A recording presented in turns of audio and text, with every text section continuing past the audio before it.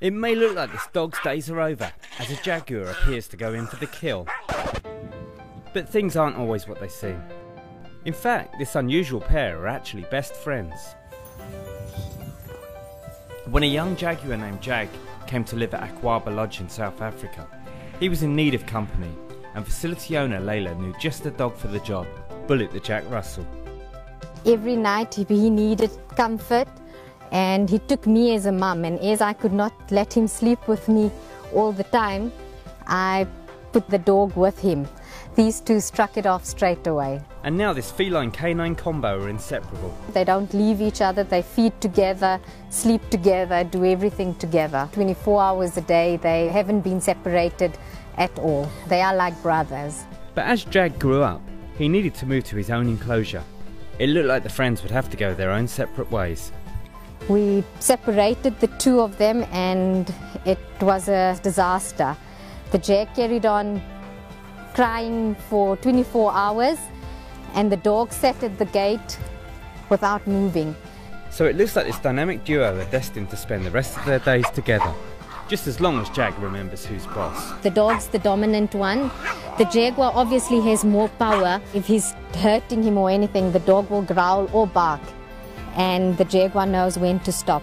Baba. Hmm, Baba, what you Baba? He's, he's a good boy. He's a good boy.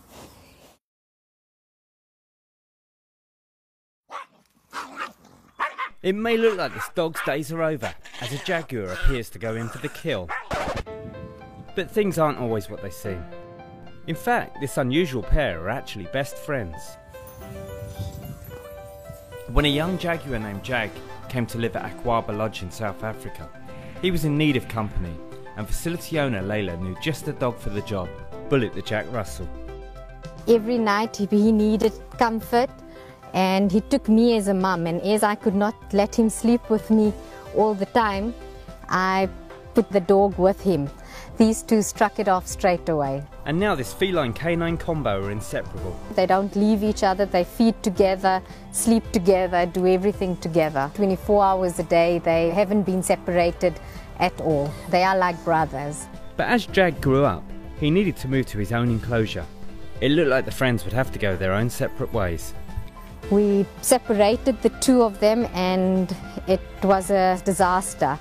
The Jag carried on crying for 24 hours and the dog sat at the gate without moving. So it looks like this dynamic duo are destined to spend the rest of their days together, just as long as Jag remembers who's boss. The dog's the dominant one. The jaguar obviously has more power. If he's hurting him or anything, the dog will growl or bark. And the jaguar knows when to stop.